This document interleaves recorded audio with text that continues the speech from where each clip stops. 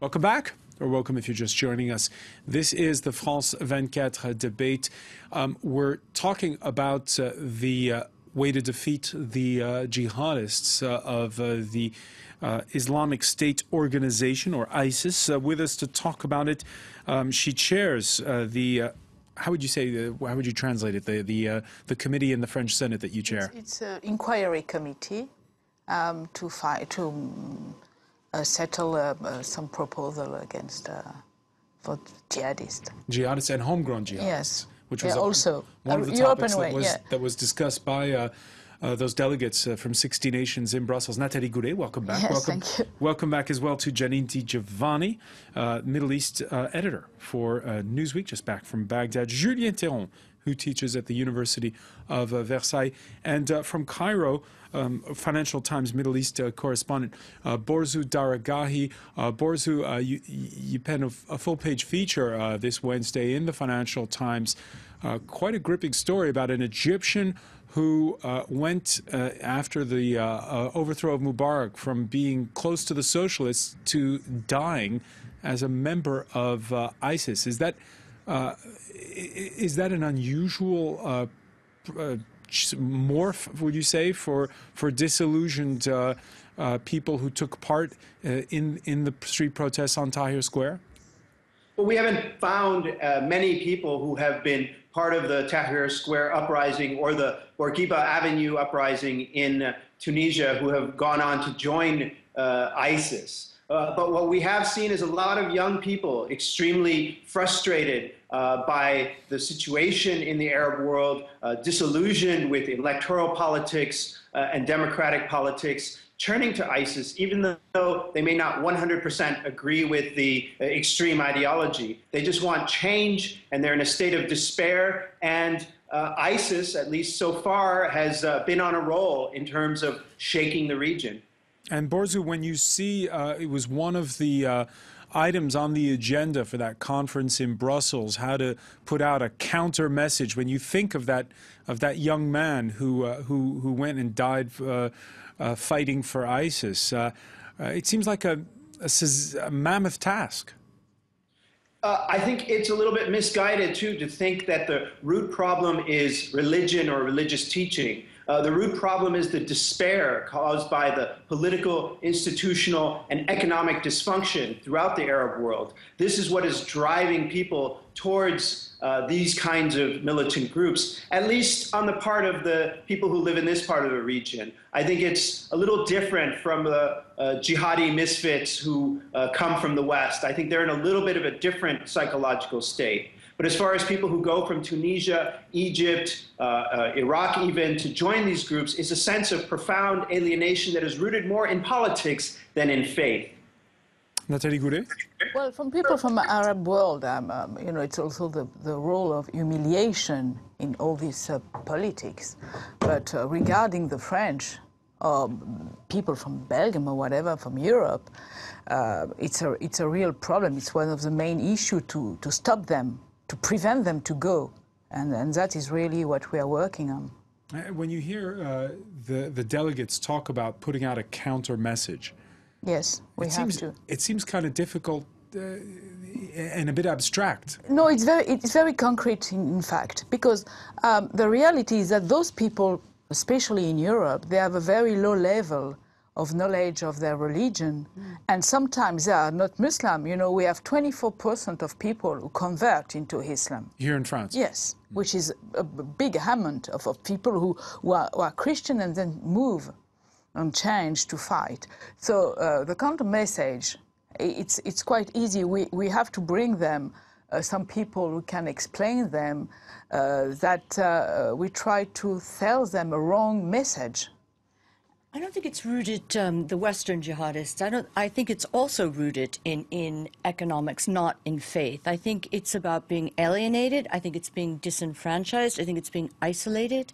A young French girl recently left her home and and went to join the jihadists, and this comes from a sense of not being part of the community, as well as a lack of a future and the humiliation. We went through the Gaza war this summer. Again. How many young Muslims watched that on television, yeah, but, feeling yeah. utterly defeated and humiliated? And the call to the jihad let's face it, it's quite a romantic notion to them in, in a way like the Spanish Civil War was. Yeah, but And, to, and I think link- also it's, it's helpful to think of these jihadis coming from abroad as having perhaps more to do with the Baader Meinhof gang and these other, I think the, the, uh, Janina used the key word a romantic, the Baader Meinhof gang and, and European terrorist groups of the past, than to more populist. There was idealism. There was great idealism. It's As a crusade.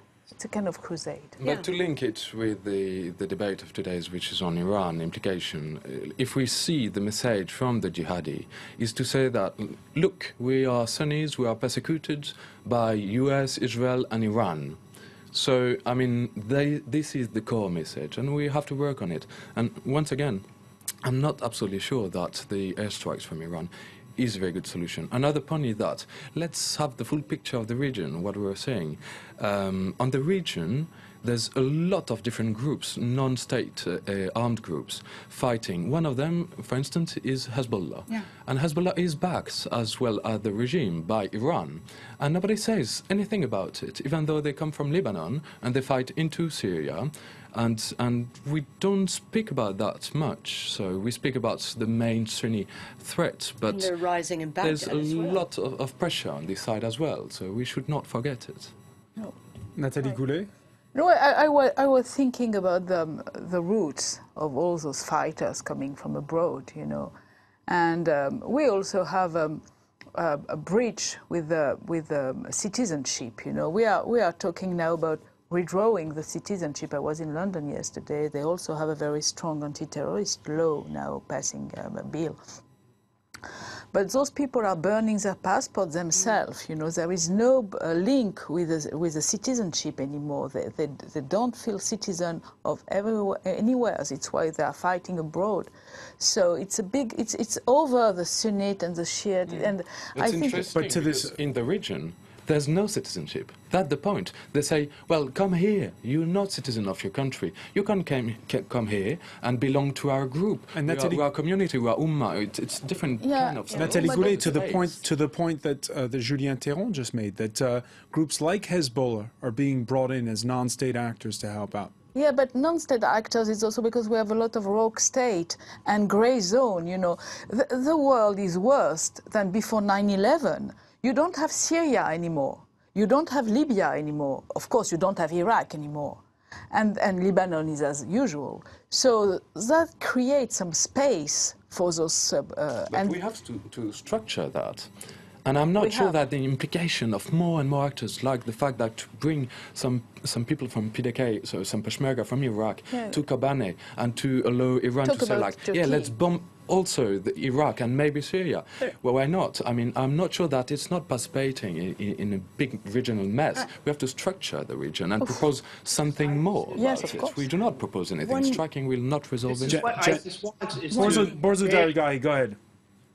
this is what ISIS wants is to create. Uh, I think the gentleman is right there that ISIS wants to create this Manichaean battle between the embattled uh, Sunnis of the region and the other forces, the Americans, uh, the Iranians, the Kurds, uh, the Shia. Let's throw in the Israelis as well. Uh, the Sunnis are under threat. Uh, they, that, and this is part of the dysfunction among the Sunni in the region. They have no real leadership. They have no one to look up to. And ISIS fills this vacuum, and it has a message that's very powerful. Uh, so it's a very good point that Hezbollah is getting involved in this, and it's quite dangerous and quite conducive to ISIS's message. So it's ISIS very went good. But what's, but what's interesting is the American military is choosing to talk to the Sunni tribesmen rather than to deal with, with the Shias or to deal with to deal directly with Iran. I mean, they would prefer to do what they did in the past and try to talk to the Sunnis and try to see if they can use them as allies against against ISIS. That's not because what- they don't like Iran. That's because uh, the Sunnis have legitimacy among their co-religionists. And if they say to their sons, don't join ISIS, it has a lot more legitimacy than someone in Brussels or someone in Tehran uh, or someone in Washington saying, don't join ISIS. But on, on another level, one thing that did that I still believe is true is I think the, the overall threat of ISIS is greater than the sectarian divide because I do think the Iran-Iraq War, the memory of that, where how many million people, um, one million people died, it's almost as though that doesn't exist. People would prefer to have Iran there fighting with them, fighting against ISIS, than to linger on the memory of that when so many Iraqis died. So I, to me, that was a very telling sign to look at history and to see In use that as an example. In Baghdad, that's the view. But if you go to the ISIS heartland in Anbar or in uh, uh, uh, uh, Aleppo province, you're going to have a very different view of that. But you know, Baghdad is an 80% Shia city at this point, and they have a, a very pro-Iranian outlook. I don't know if you if you spoke actually to the people who were Sunni people who were under the rule of uh, Shia brigades like Badr or something. Uh, did you speak to them? I mean, were they happy that the Shia militias, because we know that there's I some think they're troubles when they- frightened. they I mean, in June, when, back. when Borzu and I were in, in Baghdad together, I mean, there was the first traces of the beginning of the Shia militias, Mm-hmm. the, the retribution against the Sunnis. And we were going to morgues and seeing people all over again, just like 2006 and just like the Saddam times, people being pulled out of their houses at night, being arrested, being brought uh, somewhere, being tortured, and then disappearing. And this was starting in the summer after the fall of Mosul. So Sunnis are, are frightened and they're terrified of, of the rise of the Shias in, in Baghdad and, and elsewhere, I think. And So I do you think still think that it could be a good idea to allow the Iranian bombings? Sorry, there were two questions there. in good conscience, I mean, we can't really talk about addressing ISIS without talking about Syria and the Yes, uh, ongoing uh, uh, pummeling of uh, Sunni civilians in Syria by the regime there. This is going on and on and on every single day right now, and creating recruits for ISIS, feeding into ISIS's narrative. Uh, and now you see the media giving like legitimacy to Bashar al-Assad's uh, interview with Paris Match he had today. I mean, this is ridiculous. This is one of the most mendacious regimes in the region, one of the most murderous regimes in our time, and it, he's getting away with it. He's getting away with it scot-free. This feeds ISIS's narrative. Uh, uh, The money also feed uh, ISIS. Uh, Borzu, let me ask you about that. In that Paris Match That's interview, Bashar, Bashar al-Assad uh, saying that uh, it was fruitless air raids and that what were needed are Syrian government ground troops. Your thoughts on that? I, I think that is absurd at this point. I think Syrian government ground troops are, to a large extent, a pillar of what got us into this mess. They're opening fire on uh, uh, innocent protesting Syrian civilians in the uh, in 2011 was what gave the it created it, it fertilized the ground for the uh, resurrection of Al Qaeda in Iraq and its extension into Syria, and that is what transformed But, into ISIS. is, but he's used I this, Borzu, of course, as an opportunity.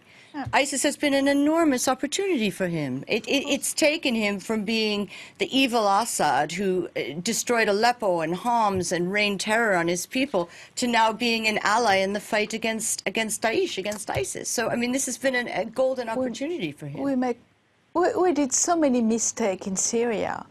I think we have to be very careful. If somebody has a prescription, yes, see, if somebody has a prescription to know exactly what we can do to prevent the people to go, uh, to restore a, a state of law, and then to fight ISIS, please just join us. We, we try to find something. it's so yeah, well, difficult. one step for me is, for, for instance, not to back too much one side, like the Iranian uh, Syrian government side. I think it would be a mistake. I completely agree. Uh, yeah, yeah. Well, we have to be backed the careful. moderate rebels, and that turned out they? to be a, an enormous mistake. I mean, we saw We that coming. that we much. saw that. We saw did back the Nusra, the rise of the extre- much. extremism in, in northern Unbelievable. Syria. And interesting. where were the Americans then? Why did they leave ISIS to grow to the point that it has? They didn't crawl out from under a rock. This isn't something that just a genesis of uh, coming from nowhere. This has emerged. And, and I think that you know it, the only way we can really address it now is by bringing Iran into the loop. All right, no, no Iran so far, but at that conference at NATO headquarters this Wednesday, U.S. Secretary of State John Kerry um, effectively arguing that uh, the broader the coalition, the better. In opposing these terrorists, our diversity is in fact a source of remarkable strength because it gives us the credibility and the breadth of reach to move against Daesh, not only in Iraq and Syria, but to counter any support that might exist for it around the world. So, Julien Théron, how diverse uh, is that coalition really? Well, John Kerry said that um, bringing Iran in would be a good idea and it would bring some stability to the region. I'm really not that sure about it. I think that it, it could really release a way harsher forces around, and really, I, I'm not sure. They did back already the Kurds, so now there's a kind, there was a kind of committee of the Kurds to, to think of linking the three sides, the Turkish, Syrian, and, and, uh, and Iraqi ones, and, uh, and now it's the Iranians. Well, of course, it's good for the US, it's good for the Iranians, but I'm not sure that it's good for the Sunnis in the region. And that's the root of it. Our friend, the reporter, said that, well, they are afraid of the Shia. We have to give them other opportunities than just like joining ISIS or just being anti Shia rule. So if you put boots on the ground, and as you say, non-state actors like the Kurds are not the solution in the long run. Well, maybe. Whose boots on the ground? Well, whose bringing the ground? UN in might be a good idea after all those years that we completely deny its authority. But the UN has never been successful in any.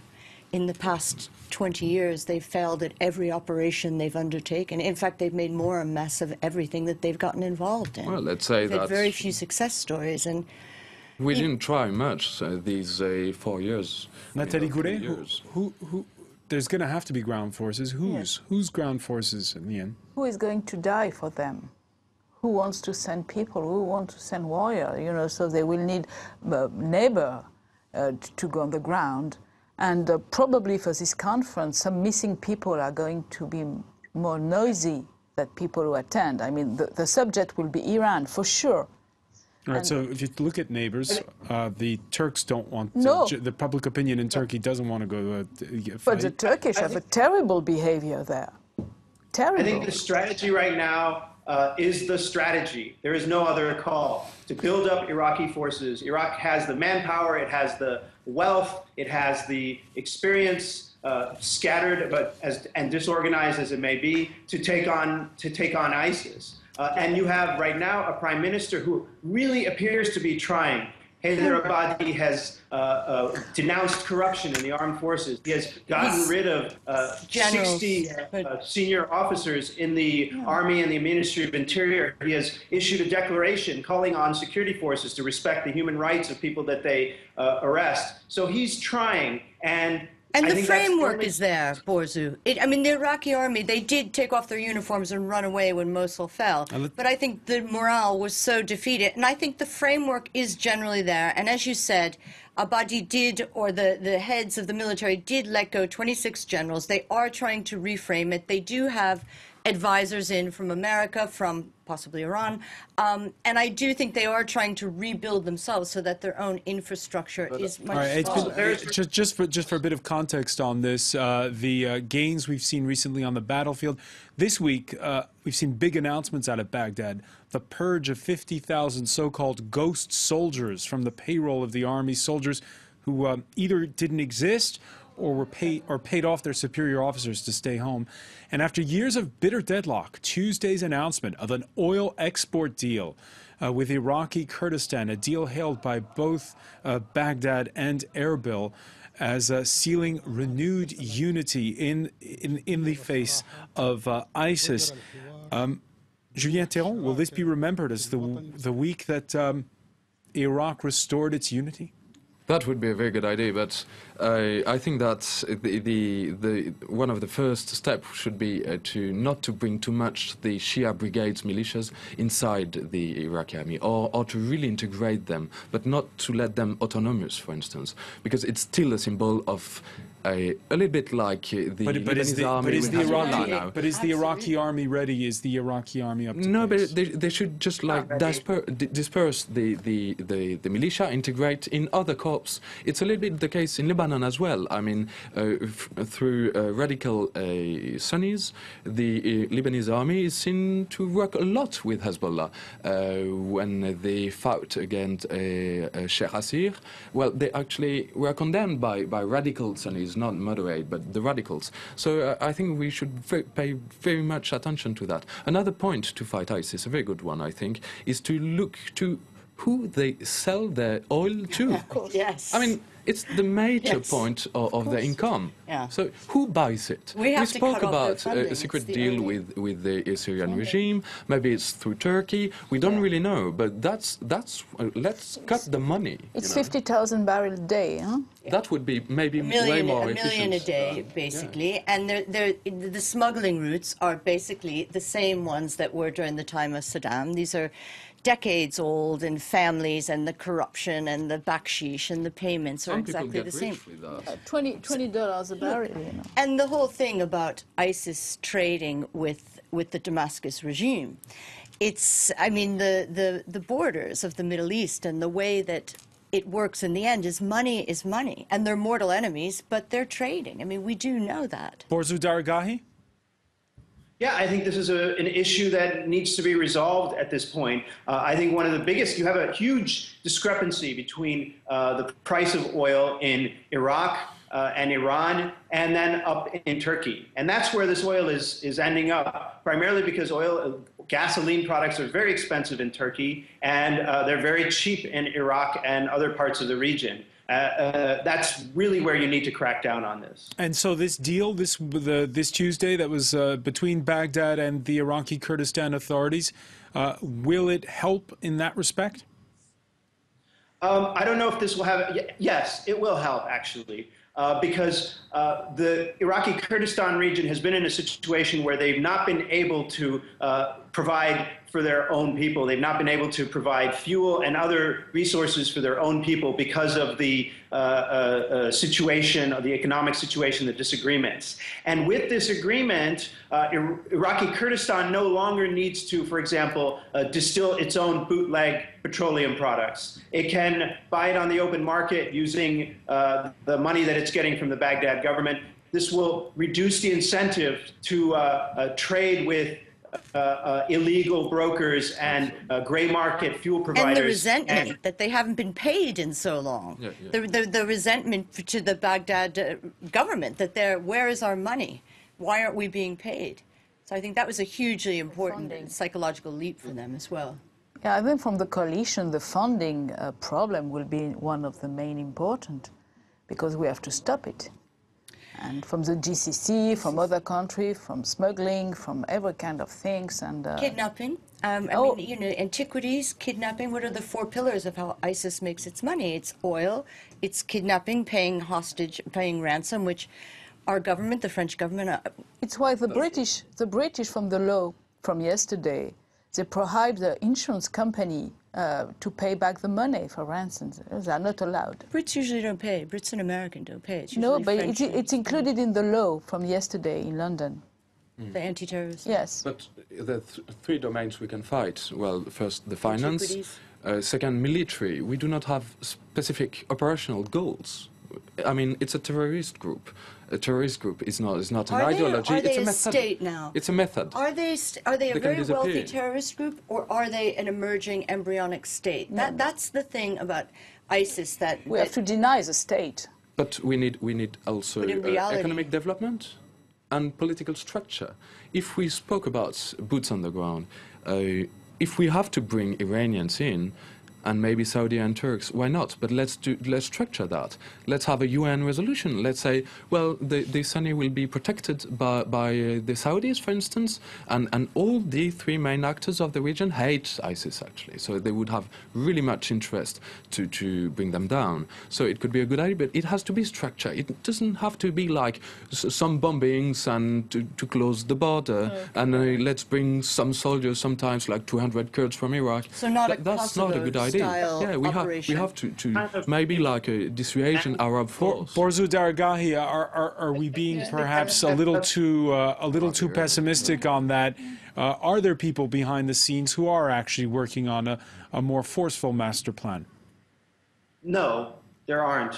Uh, but I would just say that that kind of involvement, I, I think, would be rather uh, precarious uh, because it's been my experience that, the, you know, with the uh, first set of car bombs, uh, the UN force or the Saudi force or the Turkey force uh, or the Iranian force that is there legitimately would uh, uh, get, you know, experience a backlash back at home and they would be pulled out. Oh, that's absolutely sure. But we have to think about the local governance anyway. What will we do with the borders of these, like you said, non existing states anymore? I mean, we have, and, and they are afraid on the local ground, like you said, uh, they are very afraid of their local governance. We have to org- reorganize that and to have protected forces for them. And I think also we can't forget about Syria. In, in the midst of all of this, actually, you know, there are our goal of defeating ISIS, degrading ISIS, what really has gotten lost in this is the humanitarian situation in Syria. core. 1.7 million refugees who are now going to be denied getting food vouchers, winter coming, Homs and Aleppo, an absolute chaos. And the UN, of course, their diplomacy totally Fi- final lame. word from Nathalie Goulet. Oh, final, I don't know, but we have to remember who put the chaos in the area. You know, uh, 2003 American people, and we we are very proud to be French and to had uh, Jacques Chirac to prevent us to go to this nightmare. That is a fact. All right, Nathalie Goulet, we'll leave it there with a bit of French flag waving. Yes. Uh, For this Julien, case, Julien yes. Théron, Janine Di Giovanni, and Borzu Daragahi, thank you for being with us from Cairo. Uh, your feature piece on that uh, young Egyptian who became a jihadist is in today's Financial Times. Uh, stay with us. There's much more to come here on France 24. Thanks for joining us for the debate.